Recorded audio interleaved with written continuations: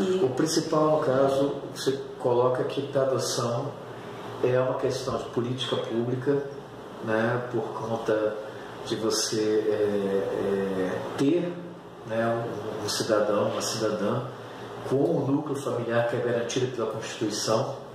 Por outro lado, você é uma questão de salvar uma vida, em todos os sentidos. Você que é mãe de uma menina, como é que se deu esse processo de, de escolha, de tomar essa decisão?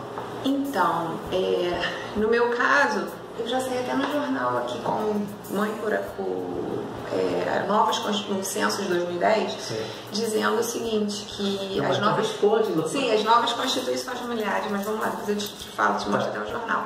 Tá. Então, é, eu queria muito ser mãe e à época eu tinha um companheiro que não desejava ser pai mais e eu parti pela via para a via da adoção.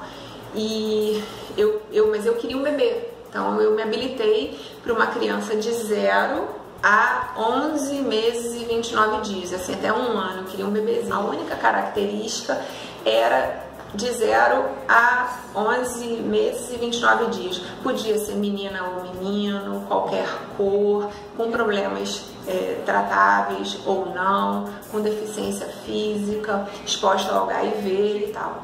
E aí veio a minha filha, ali eu fico emocionada, Bárbara, que veio para mim com quase três meses de idade.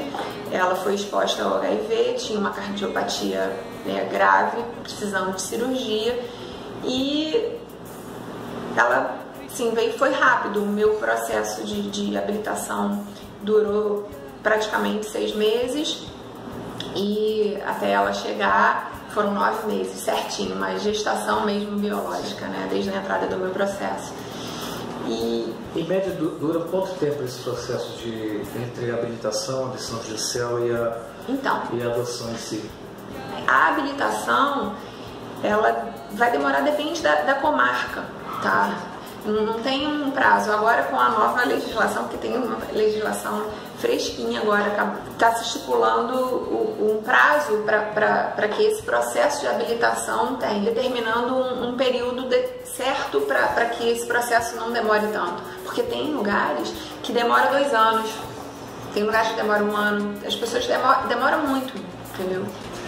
É, vocês aqui, como movimento social que trata o tema da adoção aqui na Baixada Fluminense, pretende fazer um encontro. Qual é a finalidade deste encontro? Quando vai acontecer? Qual, qual a programação? Como é que está programado para acontecer? É o primeiro fórum sobre adoção e convivência familiar e comunitária, que será realizado nos dias 24 e 25 de fevereiro de 2018, o último final de semana do mês de fevereiro. É, a, o objetivo é que a gente fale sobre adoção. Né? As pessoas não conhecem como. Todos os aspectos. Em todos, todos os aspectos, de uma forma muito geral. Legal, da área da assistência, da área do direito, da psicologia, todos os aspectos. Exato, exato. Porque a gente precisa falar sobre adoção. E as pessoas hoje, apesar de ser uma um, uma temática muito constante, né? É. Desde, uma, desde uma temática constante, você não tem muito desconhecimento. Exatamente. Então, então assim, é, a, a, intenção, a proposta é exatamente falar sobre adoção e, e tentar desmistificar para as pessoas comuns, né? Para pro, pro, as pessoas. É né? Exatamente como que funciona, como que se faz para adotar de forma legal, segura e para sempre, que é o que a gente sempre utiliza. A adoção ela tem que ser legal, segura e para sempre. O que você acha mais importante no processo de adoção, para a gente finalizar? Olha, é a vontade, tá? E na verdade não é vontade, é a disponibilidade para amar incondicionalmente. Se não for assim, não dá certo. Tá bom, Ana Paula, obrigado. Você está escutando Coisas Boas da Baixada, aqui pela 94 FM, a Rádio do Rio.